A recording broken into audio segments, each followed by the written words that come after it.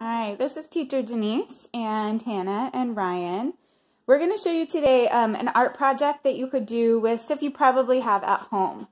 So these little rings, these are made out of toilet paper rolls and paper towel rolls, and we just cut them into smaller rings.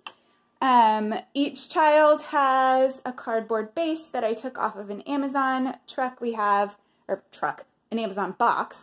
Um, we have paints. We have um, paint brushes, if it is possible to do a variety of like sizes and shapes of your brushes, that's awesome. If not, just use what you have. And then we also have white school glue. So um, I invited them to use these rings to create something on their uh, bases. I kind of expected, now this is what happens when we do play-based learning.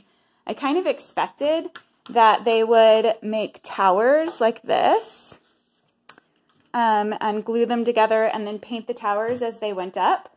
But children have ideas that are different from adults' ideas. Like what I did. And so, like, here's Hannah using uh, the tube as a stamp and stamping all over her base. And Ryan, explain what you're doing.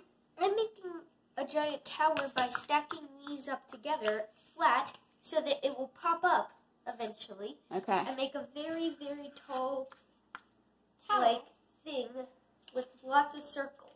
All right. So that's what we have. Those are our plans. Um, I would love to see you do this. Um, you can gather some materials and create at your house. Take a picture or a video um, post it to our Shutterfly site or send it to me through email, um, and we'll share what we've been working on. Talk to you guys soon.